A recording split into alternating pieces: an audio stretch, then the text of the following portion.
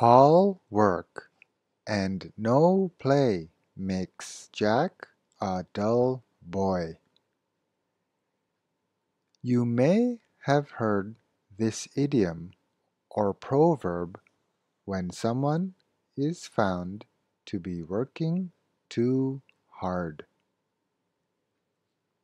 Perhaps you've been studying for exams day and night for the past month and have not taken a break at all. One of your parents might tell you that you need to take a break by saying, You've been working awfully hard. All work and no play makes Jack a dull boy. You may hear this idiom directed at you whether or not you're a boy. If someone thinks you're working too hard and not taking at least a little time to relax. The idiom means that if you only work, work, work, you will become bored or become a boring person.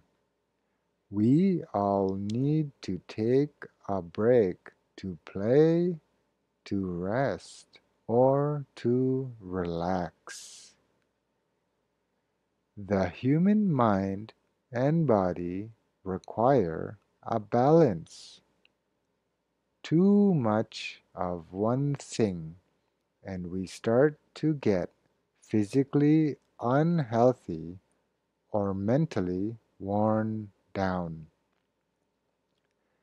You may have heard hard-working people say that they could use some R&R, which is a popular way to say rest and relaxation. Indeed, people who work hard need to take a vacation every so often, even daily. If you are working hard, it is best to take a short break at least every hour. A vacation may be called rest and relaxation, whereas a break from your daily work might be called time to unwind. Unwinding is an apt metaphor for taking a break from work to relax a little. Think of a mechanical watch that requires a spring to be wound in order for it to start working. If this spring is wound too tight or is never allowed to unwind, it will eventually break or malfunction. This is the same with a person's mind and body. All work and no play makes Jack a dull boy is perhaps not as popular an idiom as it used to be, but it is still sometimes directed at people who work hard without taking time off. It is not entirely clear where this idiom was invented, but it is found as early as 1659 in the works of James Howell, an Anglo-Welsh historian and writer.